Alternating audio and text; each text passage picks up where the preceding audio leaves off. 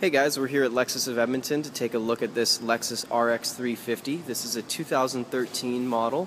It is a one of the dealership's service loaners, uh, so it does have some kilometers on it. We'll take a look at that when we get inside the driver's seat.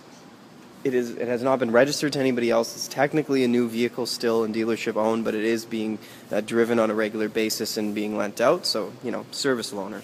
It's a basic package RX. So it's cloth interior, uh, it's still leather wrapped steering wheel. You get a display screen in it as well, compass in the mirror, uh, and it's on 17 inch alloy wheels. The mirrors have the integrated turn signal. They're uh, powered. There's still plenty of power features on the inside. You got locks and doors, driver's seat with back support, and uh, your steering wheel adjustment as well. You can see the leather wrapped steering wheel here, uh, audio controls on the left, Bluetooth on the right, cruise control down on the lower right.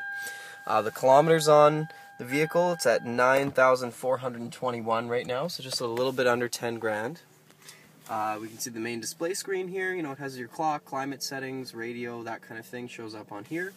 All of your radio settings uh, are right there, and you have your climate controls as well, heated mirror button, and your dual temperature for driver and passenger. You also have sport mode with tap shift, cup holders right here, and uh, you know armrest. Uh, you have USB and auxiliary input for the stereo as well as an auxiliary power outlet there.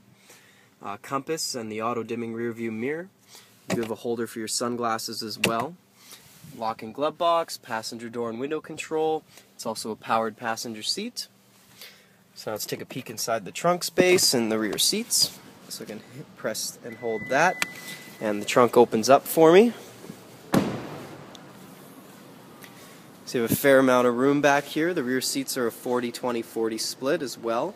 You can pull these handles to make them fold down on their own. You do have the interior cargo cover, uh, leather-bound book with the manuals, uh, an emergency kit as well, and your carpet floor mats for the summertime. Doesn't look like they've been opened or used yet.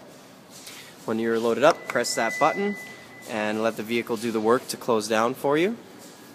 And if we take a look back here, Lexus does build a rear windshield wiper into the spoiler just to keep it from getting clogged up with snow or ice. You also get manufacturer tinted windows on the back that you can see here. And in the rear seats, you do have a window control, a little holder for a travel mug or a water bottle. The seats themselves uh, recline and they also move forward and backward a little bit, so you have a lot of versatility there. And then you do have cup holders right here with the center seat armrest. And it's a single piece floor mat as well.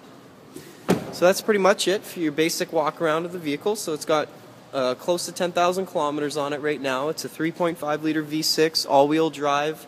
Uh, you know, it's a fun, really planted on the road vehicle to be driving. It's got 270 horsepower, so plenty of power and under the hood. Uh, and you can also have the new Lexus spindle grille that you see here with the uh, the update to the 2013 design. So if you have any more questions, please give us a call, 466-8300, or drop by the dealership, 170th Street and 111th Ave. And don't forget to check out lexusofedmonton.ca. So from everybody here at the dealership, thanks so much for checking out our video. We'll see you next time.